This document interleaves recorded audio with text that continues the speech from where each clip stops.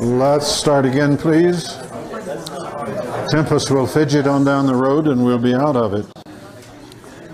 Okay, so now just to reaffirm my last point, not this is not a law. It's but if you want to get a hold of this whole process of transformation, you work primarily with your body and your mind.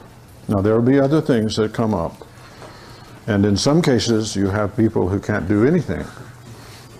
That's why disciplines are not the answer to everything, because you find some people who simply can't get a hold of it anyway. And the extreme case of that is possession. There is such a thing as possession, and maybe a few degrees of it this way. That's where it's important to have ministers and teachers and friends who know what that is.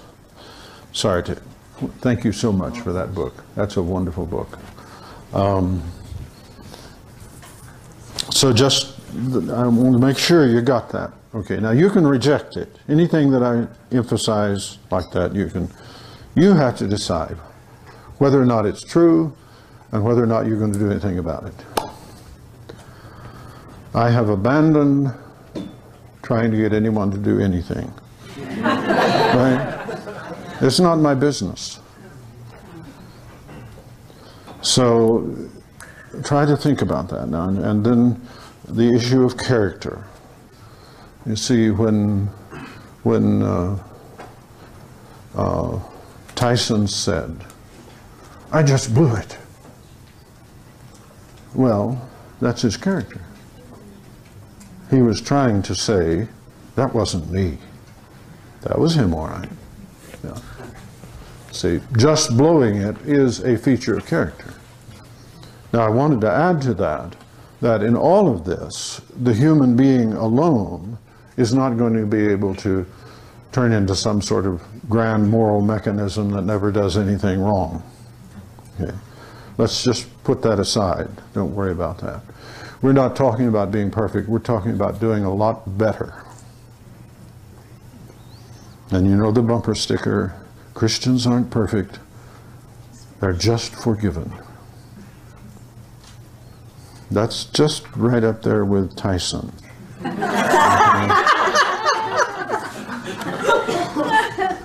because there's an awful lot of distance between being just forgiven and being perfect.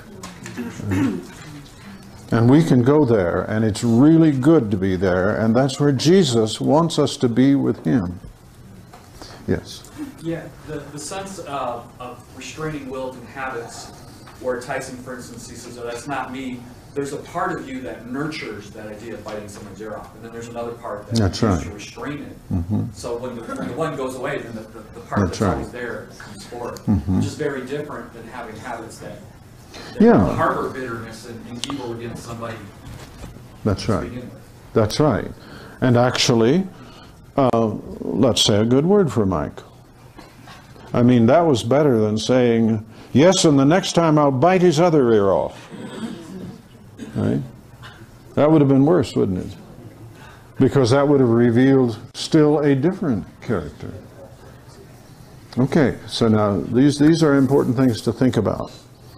Because you remember, one of the things we have in Romans 7 is it was not me, it was the sin that dwells in me.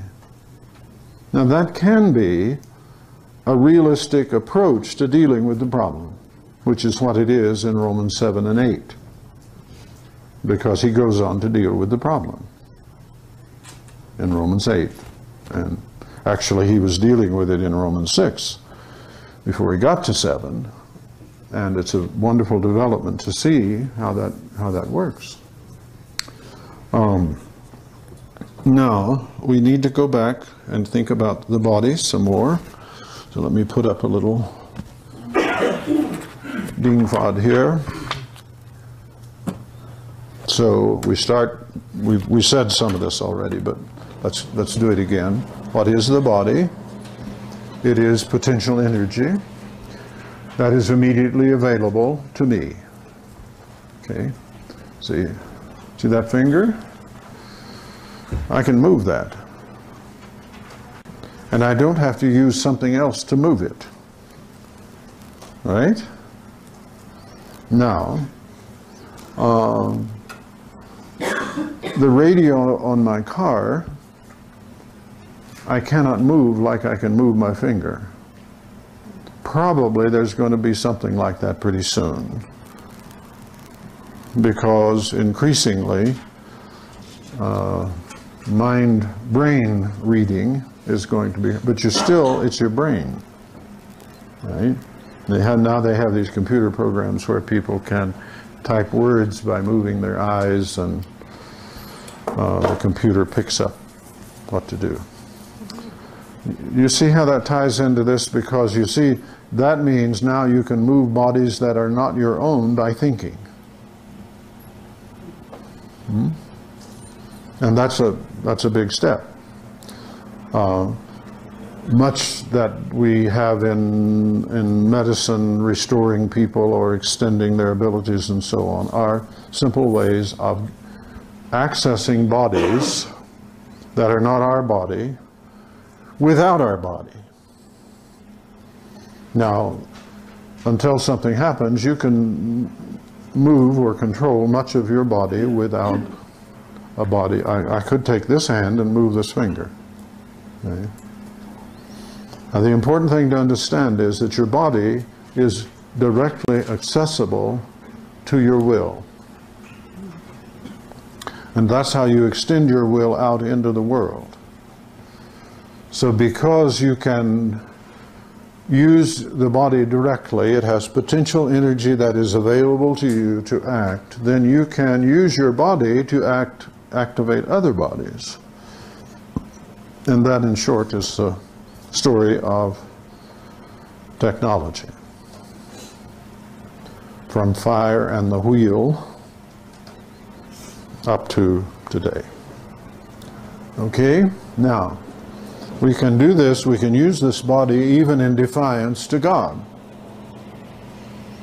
In order to be a person, I have to have a kingdom, and God has given me a body in order that I might have a kingdom. That's how that works. Persons require a kingdom, and human persons require a body to have a kingdom. And because they have the body, they can defy God. They have enough energy in their body to do that.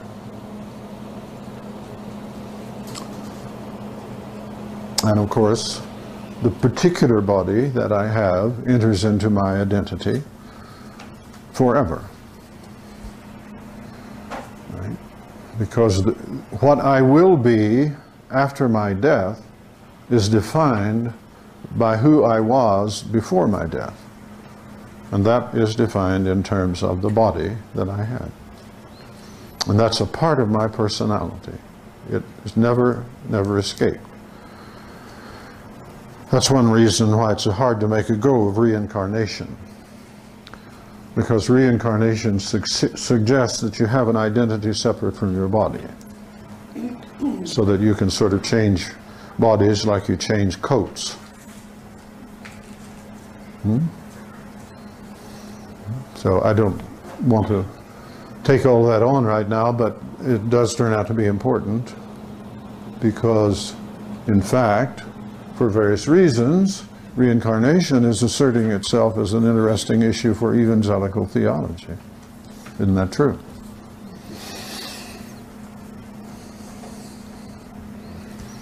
And that's related to universalism. The idea that if you just go around enough times, you'll get it right eventually. Not really a correct view of human personality. Now, my fle- as flesh, my body carries the natural abilities that en- enable human beings to act. And that goes up to things like devising large, mellow pink envelopes. And feeling an, uh, I want to put more in that envelope. That's flesh, that's natural.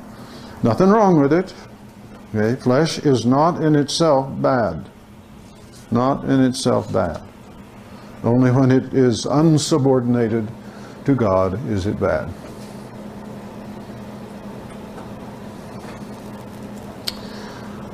Are we doing okay up to that point? All right, now, our body takes on a life of its own, and that's what it's supposed to do. That means you don't have to think about things in order to do them.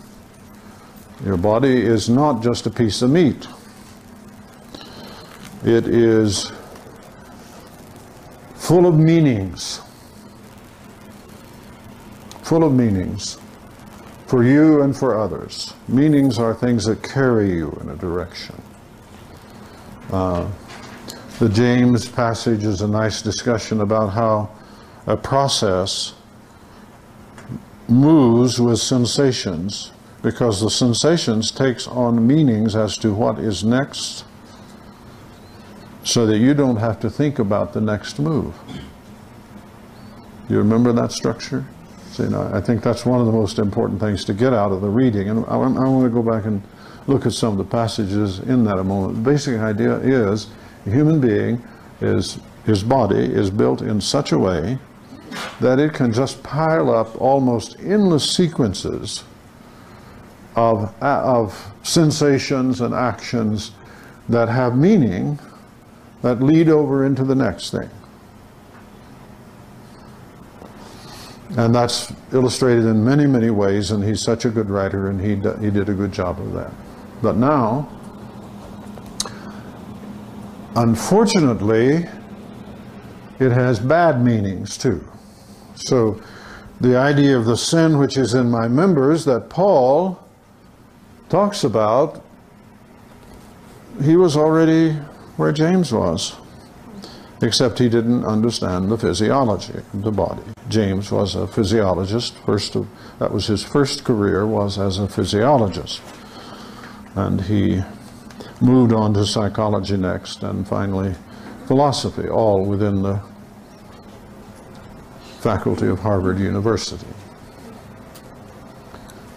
So he's doing it in terms of physiology, but Paul knew the fact. See, he just didn't know how to analyze it. He knew the fact. And the, the body, unfortunately, is able to run on its own in the wrong direction. Not only in the wrong direction, contrary to our intentions. Now that's where you need, in order to understand what goes wrong and what goes right, that's where you need to get the complexity of the self, the human self. You need to have some understanding in it, and that will help you see more deeply uh, that discipline's work and how they work. So there is a system of tendencies away for away from should be from instead of for or against God. The general name for that system in the scripture is world. So you have three enemies laid out in Ephesians 2 the world, the flesh, and the devil. Those are the, the big three. And in the early church, and many times you had to explicitly forswear them and say, I will stand against them the world, the flesh, and the devil. The world is organized flesh socially organized, historically developed flesh. That's the world as used in Ephesians 2 and elsewhere. Of course, there are other meanings of world, and I'm sure you know that. John says there are three things in the world the lust of the flesh, lust of the eyes, and the pride of life. Now you have to understand that he's talking about those as ongoing processes that are just working away all the time. Lust is, of course, desire, and desire is essentially chaotic and disintegrative. And we have a lot of them. And one reason why you can't run your life on desire is because you do have a lot of them and they conflict. And if you try to run your life on desire, you will be in a mess quickly lust of the flesh, basically physical desires. Lust of the eyes, basically appearance, style. Um, there's a little bit of power in that. You want a room with a view, and you want to look good, and so on. That's the lust of the eyes. And the pride of life is exaltation over others, comparison, envy, resentment, manipulation. That's, and old John looks at the world, says, That's it, folks. So if you want to be the friend of the world, you can't be the friend of God. That's what he said. And that's because this mess is running in the wrong direction. See, uh, Peter's case is always illustrative, and you see in his case what Paul was talking about when he said, The sin that is in my members. And they, it was in Peter's members. Jesus knew that, and he had to give Peter a little lesson in psychology.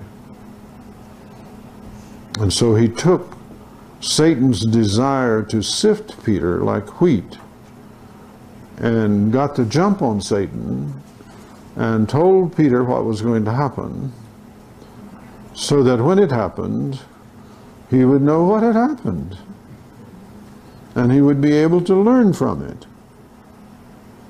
Jesus was always teaching.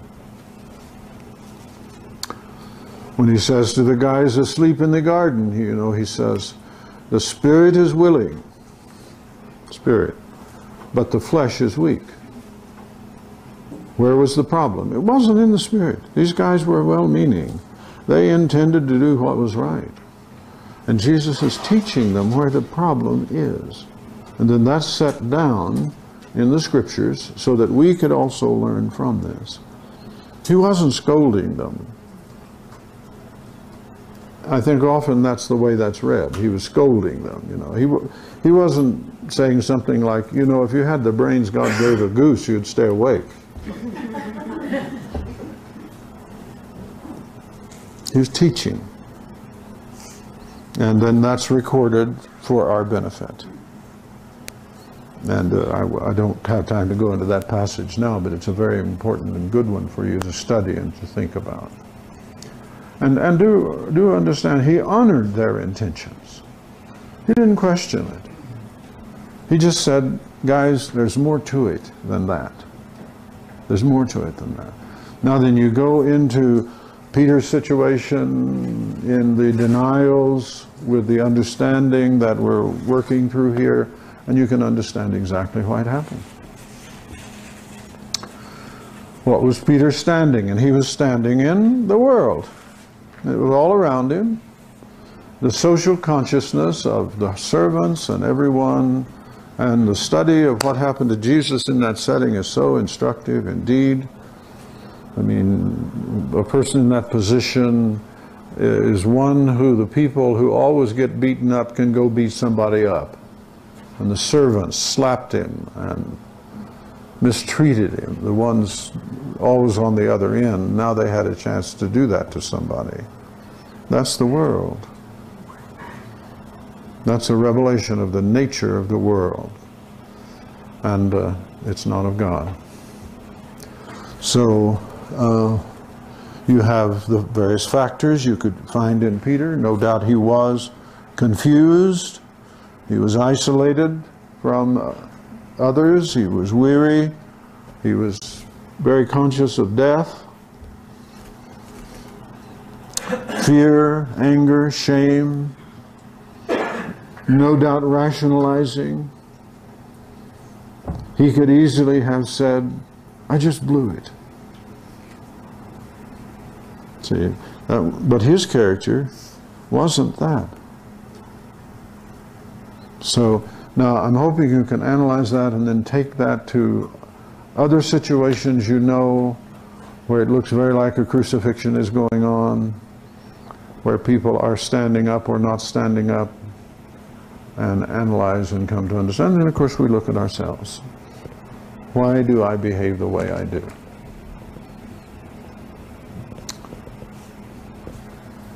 Yes, sir.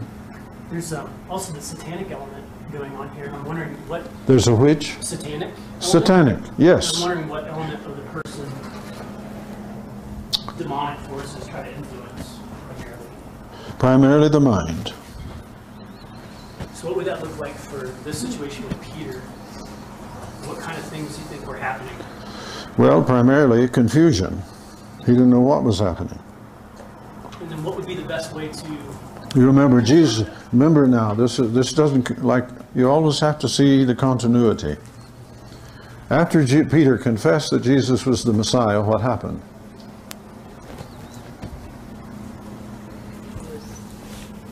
Jesus said, You know, I'm going up to Jerusalem, they're going to kill me. And Peter, now, you have to fill in the blanks on Peter on that event. You can almost see him standing over here by a tree saying, Jesus, I want to talk to you. That's not for you. That's not the way it works. Now, you see, you have to have that in mind when you go to his denials. See, the way he was thinking, Satan's work is primarily on ideas, okay? Primarily on ideas. That's, that's true in general. That's why he works on institutions like education and the church, because he knows that if he can get the ideas going, he can take a nap and things will go in his direction. And that's why your ministry as a teacher and a writer and a speaker is so important. You are idea people. You're not emotion people. Okay? Please understand that. You are idea people. Emotions come and go, they have some importance. But even in worship, worship isn't emoting. Worship is knowing God, setting Him before you, contemplating Him, and then emotion comes out of that. So that's an important question. Peter was, I mean, the biggest fact about Peter was he was confused and he didn't know what was going on. And he probably thought when he said, I'll die for you, that he would kill somebody. But now comes a little girl.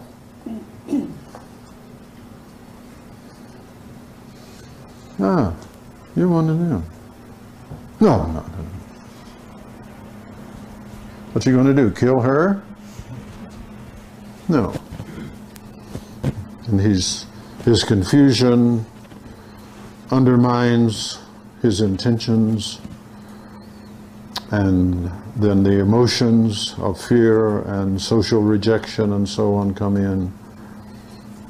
And that's where you get his denial. Now, he didn't know that was going to happen to him. He thought he, all he had to do was just decide. But it wasn't. That's what Jesus knew. Jesus, and that's why Jesus set him up and taught him the way he did. And Peter had a hard time later with keeping straight on things. Now, just this last point, because the body is fundamentally social, it's the meaning that is in the body's positions and motions and that are read in others around them that function especially as triggers for actions that we later bewail ourselves about. We have to learn to play to the audience of one. And that's the only thing that can stabilize the individual in the social context. I stand before God. The audience of one. Now that goes back, of course, to the thoughts and the body. Well, there's a lot more we can say about that, but we can't because we have to do something else. I do want to recommend to you that you carefully study chapter 15 in William Law. It's ostensibly about why we should sing psalms, but it's really about the connection between the soul and the body. And you can read person and the body if you wish. It is one of the best things ever written on the understanding of what makes spiritual disciplines matter. It isn't just about psalms, but it is about singing psalms, about singing. And uh, the point of it is that what we do with our body influences what we have in our spiritual side, our soul, if you wish. He uses soul as simply a general term for all that's not the body. And that's one use that spiritual has. And uh, it, is, uh, it, is, it is the best treatment in the literature of this. I don't have your version, unfortunately, but I would like to just read a few lines here. Uh, he says, as the devotion of the heart naturally breaks out into outward acts of prayer, so outward acts of prayer are natural means of raising the devotion of the heart. It is thus in all states and tempers of the mind. As the inward state of the mind produces out actions suitable to it, so those outward actions have the like power of raising an inward state of mind suitable to them. You ever read an old book called From Prison to Praise? Sometime look it up in the library. There was a period, three or so decades ago, where people dis- rediscovered that praise would actually do you good. and of course, it's the same thought here. Therefore, if you would know the reason and necessity of singing psalms, you must consider the reason and necessity of praising and rejoicing in God, because singing psalms is as much the true exercise and support of the spirit of thanksgiving as prayer is the true exercise and support of the spirit of devotion. The union of soul and body is not a mixture of their substances as we see bodies united and mixed together, but consists solely in the mutual power that they have of acting upon one another. That's the union of the soul and the body. William Law was a person who understood that they are two substances, they're not one, and yet they are interactive and in a manner that is appropriate to the subject matter, then he describes how that works. The soul has no thought or passion, but the body is concerned in it. The body has no action or motion, but what in some degree affects the soul. And uh, so the other disciplines, also related to the union of the body and the soul, have that same character of interaction. Well, he goes on to elaborate uh, on how this affects things like being surrendered to the will of God and so on. Uh, he has a wonderful, wonderful passage here. Would you know who is the greatest saint in the world? It is not the one who prays most or fasts most. It is not he who gives most alms or most eminent for temperance. But it is he who is always thankful to God, who wills everything that God wills, who receives all that God does, everything, as an instance of God's goodness and has a heart always ready to praise God for it. All prayer and devotion, fasting and repentance, meditations and retirement, all sacraments and ordinances are but so many means to render the soul thus divine and conformable to the will of God, to fill it with thankfulness and so on. You need not now, therefore, wonder why I lay so much stress on singing a psalm. The Psalms were the original praise songs.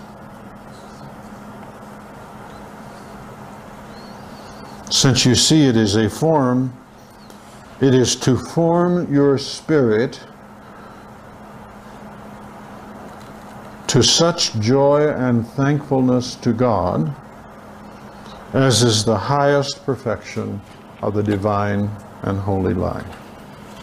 So I hope you will really look at chapter 15 and uh, you'll learn a lot about what you need to know about the role of the body.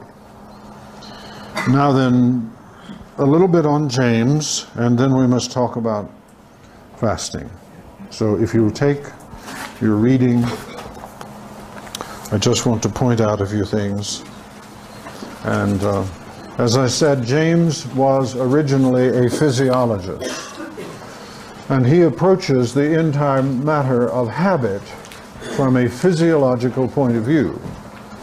But you want to realize that for him, the body and especially the nerves are not just matter. They are living substance. And while all matter yields to habit, the substance of the nervous system, in his view, which he was very familiar with, at the level that you could be familiar with it at his time, that level, that nervous system has a special property uh, which he calls on page 151 plasticity. Plasticity. You'll see that italicized word. Uh, plasticity, then, in the wide sense of the word, means the possession of a structure weak enough to yield to an influence, but strong enough not to yield all at once. And so he says, organic matter, especially nervous tissue, seems endowed with a very extraordinary degree of plasticity of this sort.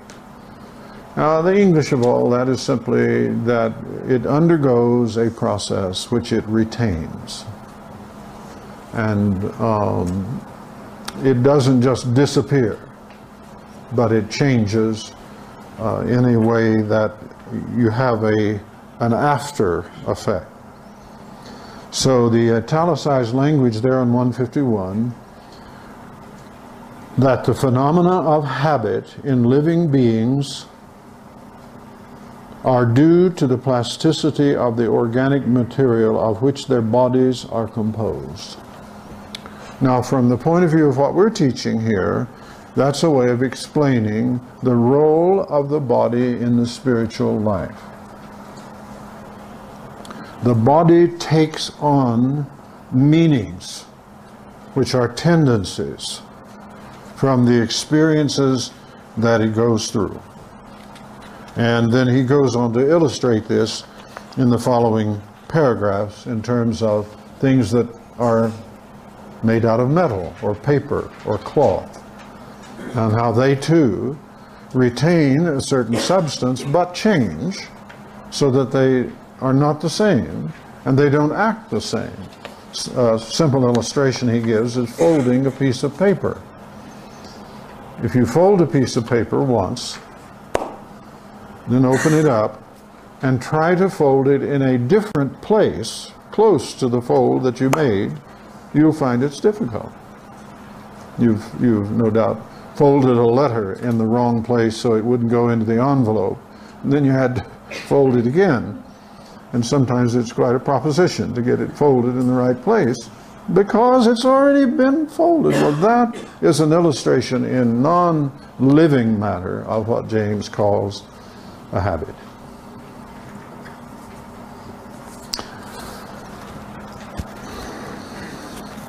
So now in the nerves, at the bottom of 152, you see the paragraph there, the italicized heading, habits are due to pathways through the nervous system. Whenever you have a sensation or an experience that establishes, in some measure, a pathway which is easier for the following experiences to go down than making a new pathway. And uh, nervous matter, as he calls it, it's not nervous, but it makes you nervous, um, is uh, especially uh, given to this trait of picking up, picking up patterns. Uh, on 153, a third of the way down, the most complex habits, do you see that language?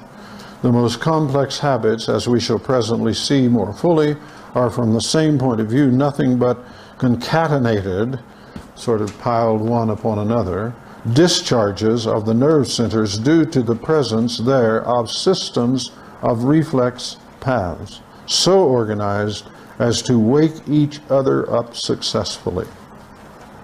Successively, sorry. So now the effects of this, right at the bottom of page 153, habit simplifies our movements, makes them accurate, and diminishes fatigue. And he goes on to illustrate that. Then on the next page, 154, the bottom of that page, habits diminish the conscious attention which our acts are with which our acts are performed. And that's one of the main things is that you don't have to pay attention to all the stuff that you would have had to if you didn't have a habit. Now, again, you see that's good and that's bad. If you have a habit of not looking over your shoulder before you change lanes, it's not good. Unless you've made some other effective arrangements, of course. So now then he gives us the little picture uh, of a of what happens uh, in a process, and he describes this um, on the bottom of 154 and 155. Right at the bottom, he, he gives you a general description here. If an act requires a chain A, B, C, D through G, then in the first performance of the action, the conscious will must choose each of these events from a number of wrong alternatives that tend to present themselves, but habit soon brings it about that each event calls up its own appropriate successor without any alternative offering itself and without any reference to the conscious will.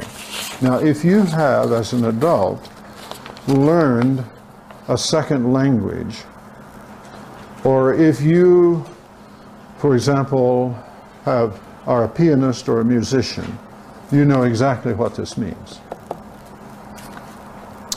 Because the, the whole effect of practice and training is to establish these successions where you don't have to think about the links in the chain.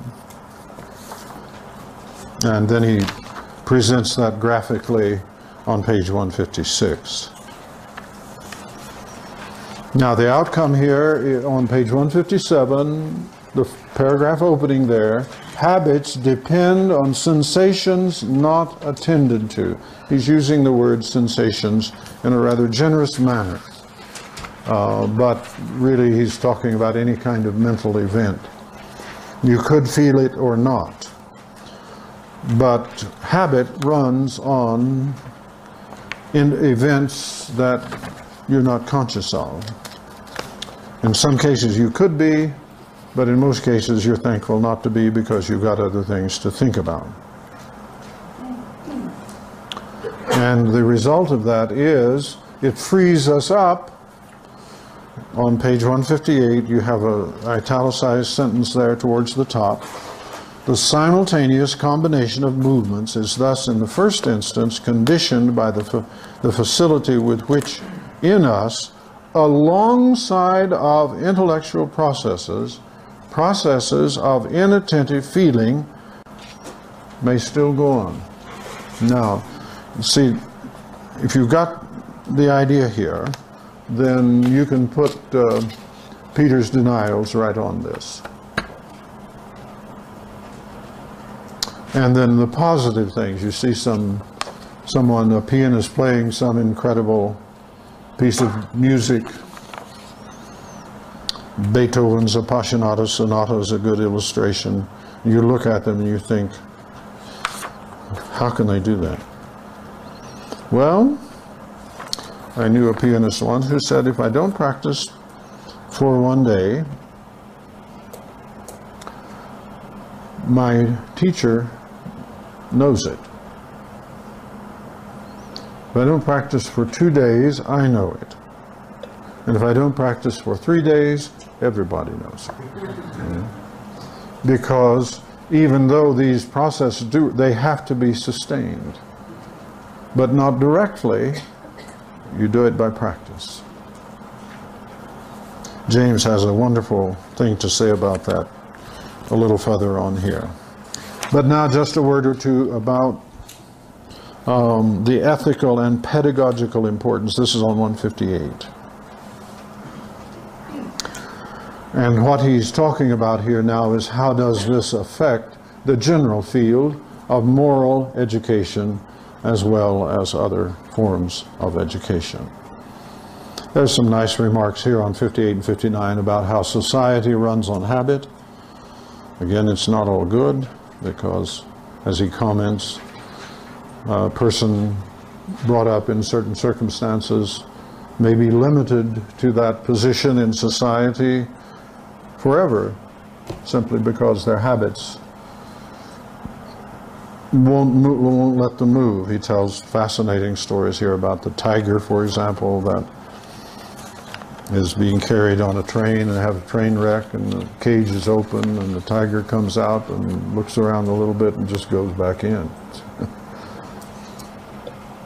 and uh, you know, you can train an elephant to a stake and it will stay there even if the chain is not on it.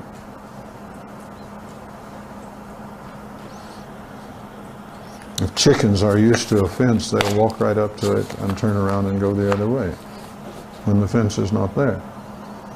And it's very touching to think about these kinds of things, but he has a nice discussion of this on, for, for human beings mainly, on pages 158 and 159. So now, he, on the, on page 160, 160, he begins to reap the fruits of it, of the discussion with his statement at the top of the page. The great thing in all education is to make our nervous system our ally instead of our enemy. To fund and capitalize our acquisitions and live at ease upon the interest of the fund. He was a grand old writer. He had a way of using illusions that just so you get the right habits and you just live on the interest. and there's, there's so much truth to that, uh, negatively as well as positively. Then he uh, quotes from a, a man named Bain, who was a psychologist and philosopher contemporary to him, a number of points, about two thirds of the way down on 160. The first point in the acquisition of a new habit or leaving off of an old one, we must take care to launch ourselves with as strong and decided an initiative as possible. I'm going to want you to be thinking about what you do in disciplines as we go over this. Um, a discipline usually takes a fairly radical amount of novelty, and it's important that it do so. You'll find many people who have done well as followers of Christ, at their conversion, they often entered into an intensive period of solitude and Bible study and other things that may have been relevant. The second maxim is never suffer an ex- exception to occur till the new habit is securely rooted in your life. Right? And of course, again, you have to be able to do that. You have to, not everyone can do that, but he's talking about people who are basically sane and whole and want to do better. And that is one of the things you do. You, you don't tolerate exceptions. Right? Now, for people who are not in a strong position, for example, in smoking or whatever they're taking, coffee, my drug of choice. Um, if you want to get off of it, get off of it. And he has some discussions here about the tapering off method and all of that. But basically, if you revert, you just reestablish the pattern. Your brain says, okay, I know that one, and we're going to do that again. And uh, so it's important that you not give in. And I know people who have quit heroin, heroin cold turkey because they basically followed James's and Professor Bain's response. And you say, well, it's hard. Well, yeah, what else is new? It's hard. But if you want to change your habits, you do it. And that is when you know the history of, of uh, the Christian people, you, you see how often uh, this is practiced, and it was especially true in the orders such as Benedictine and other orders. Next, uh, on page 162, a third maxim may be added to the preceding pair. Seize the very first possible opportunity to act on every resolution you make. And on every emotional prompting you may experience in the direction of the habits you aspire to gain. Now, in a minute, we're going to turn to fasting and talk about that. But it applies to every discipline. It is a matter, discipline is a matter of taking the opportunities that life offers you to establish new habits. And you have some liberty uh, in selecting those.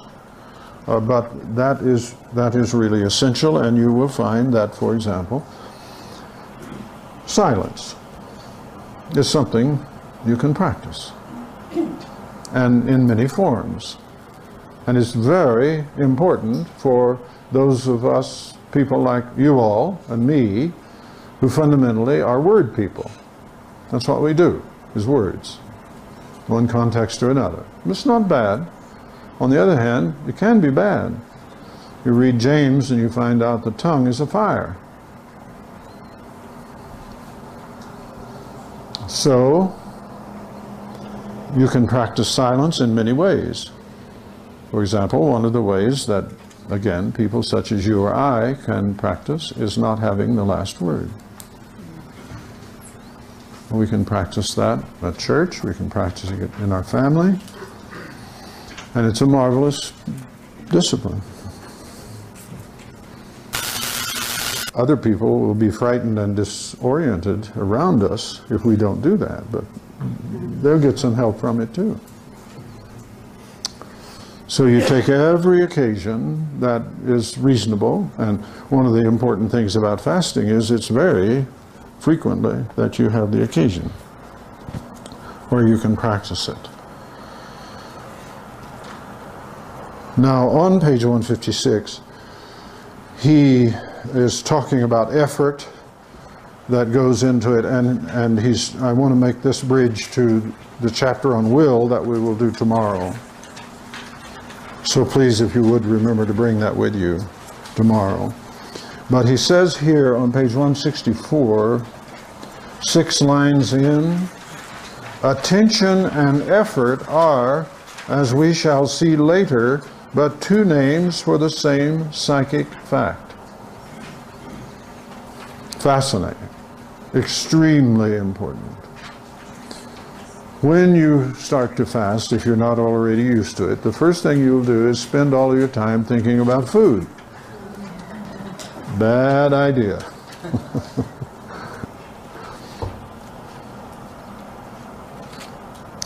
To what brain process they correspond, we don't know now. He said that. The strongest reason for believing that they do depend on brain processes all is that the, and are not pure acts of spirit is just this fact that they seem in some degree subject to the law of habit And now he says, which is a material law. I want to say to you, this is one point on which I hope you will think, if not disagree, with James. All of reality is subject to habit. Thoughts, emotions, and they are not subject to habit just because they are connected with the brain. They are realities in their own right, and it's especially important to know that they also respond to habit. Like my students at USC now, and I suspect everywhere else, can hardly read a book by William Law. And if they try to read something by Jonathan Edwards, they're dead.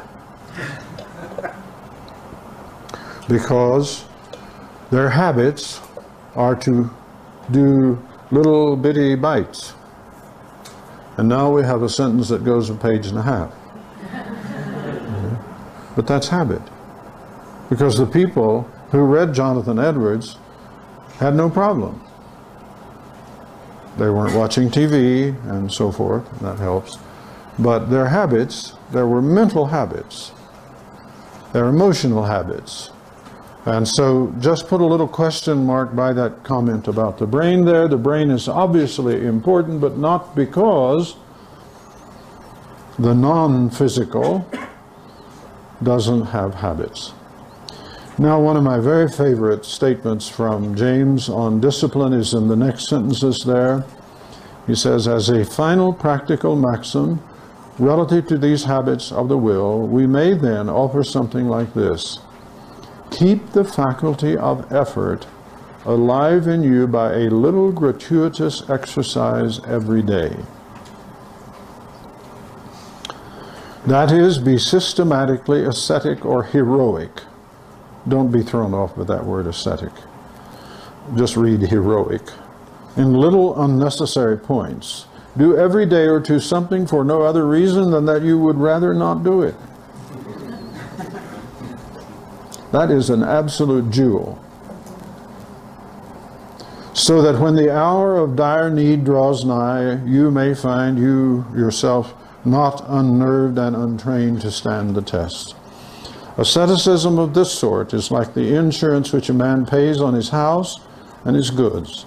The tax does him no good at the time, and probably may never bring him a return.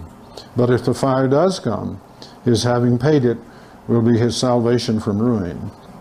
So, with the man who has daily inured himself to habits of concentrated attention, energetic volition, and self denial in unnecessary things, he will stand like a tower when everything rocks around him, and when his softer fellow mortals are winnowed like chaff in the blast.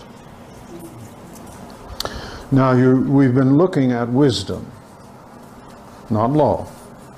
This is not righteousness. This is for people who want to, in a practical way, change their character. And when we are teaching, we want to remember this. You probably can't use this in a sermon, but you need to have it in mind, and some of it can be conveyed to some people that you're teaching. And it's absolutely essential in the face of all the plaintive statements I can't. I can't. Well, there's grace and there's effort, and you can. It's a matter of finding out how to do it and putting into practice the things that would change. Okay, now a few words on fasting. Most importantly, what is fasting? It isn't just not eating.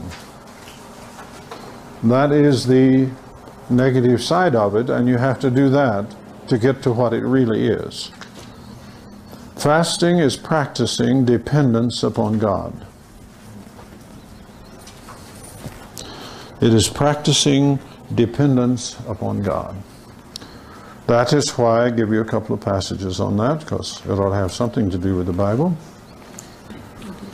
Deuteronomy 8, 3, and Psalm 35, 15. Okay?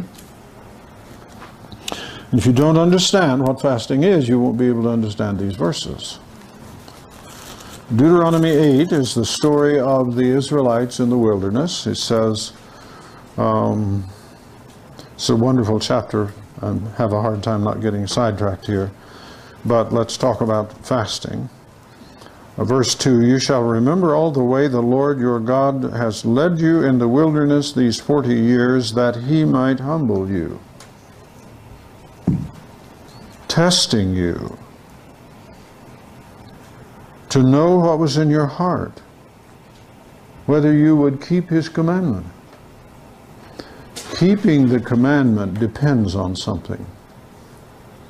How would humility, being humbled, get you there? That's, you see the question? Keeping the commandment depends on something. What does it depend upon? Well, being humble. Why? Because being humbled is to be dependent upon God. It's to be dependent upon God. That is what humility is. If you read your Andrew Murray, you know how he develops that over and over. It's to be dependent upon God. Now, how did that work? He humbled you and let you be hungry, and fed you with manna which you did not know. You know what the word manna means? Bread of heaven. Hmm? Bread of heaven? Well, that's how it turns out. It means, what is it? So, Junior, go out and gather another pot of what is it? Mhm. We'll some have some what is it soup. Manna is congealed word of God. Potatoes also are congealed word of God. Word of God is the substance which you consume when you fast. Now, it may take a little longer than one, me- one meal to get into this, but a, one meal is a good start. That he might make you to understand that man does not live by bread alone, but man lives by everything that proceeds out of the mouth of God. What proceeds out of the mouth of God? Words of God. In some forms, it, potatoes. But it doesn't have to have any material form at all, and that's what you're finding out when you fast. Because when you fast, you are taking in substance from the invisible landscape.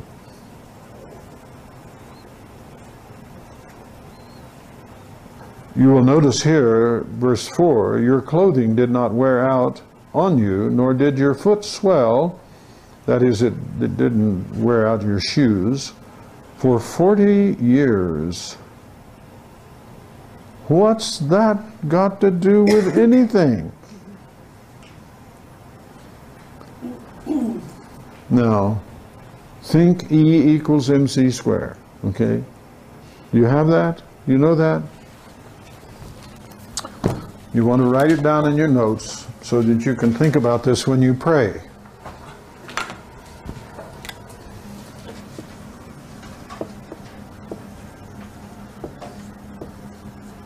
Okay?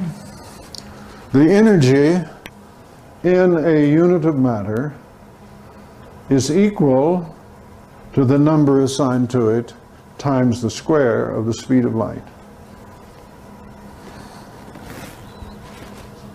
Where did Jesus get all those fish?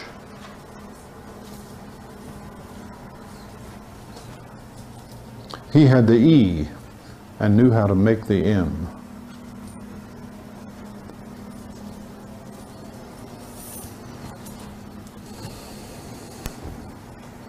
The M doesn't exhaust the E.